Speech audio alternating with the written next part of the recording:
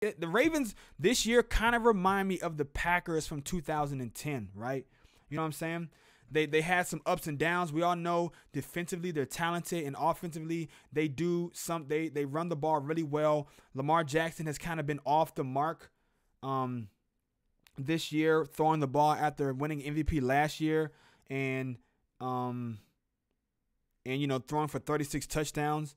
He still ran for a thousand yards this year, the only quarterback to ever do that in back-to-back uh, seasons. This narrative was starting to build on Lamar Jackson that he couldn't get it done in the big games. That he was all regular season MVP, but postseason he shriveled up. But yesterday, Lamar Jackson put the team on his back, and no, he didn't have a great, um, he didn't have a great day throwing the football, but he did have some spectacular runs and he was able to make plays when he needed to.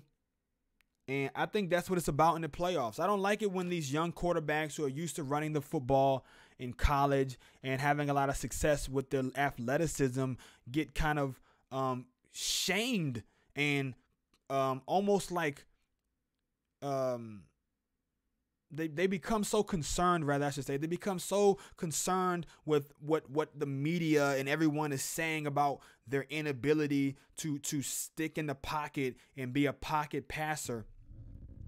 And and they start to look around at the Rodgers and the Brady's and the Mannings and the Mahomeses of the world and those pocket passers and they say I want to be like that. When the reality is you aren't built like that right now. And that's not to say that Lamar Jackson can't become a more a more uh, accurate, consistent pocket passer. I believe he certainly can. He's got the arm strength, and I think he's got the smarts to do it. But when he was at Louisville, they didn't teach him to read defenses, and they didn't teach him to uh, to to work through his progressions, and they didn't have a pro style offense. So he's not used to that. But what he is used to is the read option and running.